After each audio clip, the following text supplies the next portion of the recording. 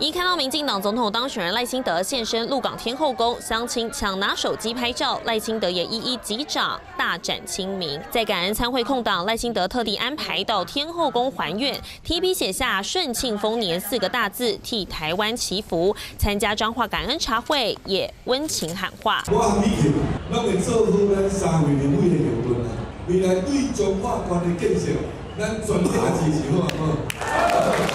要努力发展彰化建设，紧接着赶场南投感恩活动。小美琴一下车，看到换上爆炸头新造型的蔡培慧在下车处迎接，两人兴奋玩起自拍。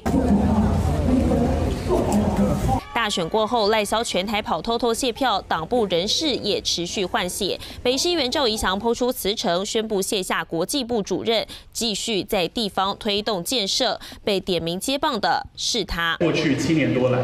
对于马祖的各项建设发展，不遗余力的支持。台大人类系毕业的李问是美国芝加哥大学硕士，二零一五年放弃美国籍，曾经担任民进党国际部副主任，二零一九年投入连江县立委选战，在地深耕超过五年。继任的国际部主任人选呢，目前党中央也在多方的呃寻找这个能力优秀可以升任国际部主任的人选。刚上任政策会执行长的王义川接受媒体专访也分析，未来民进党将强化社会沟通，甩开精英包袱。善用多元平台，拉近跟年轻人距离。三立新闻吴坤宇、许淑伟、黄晨波、廖敏君综合报道。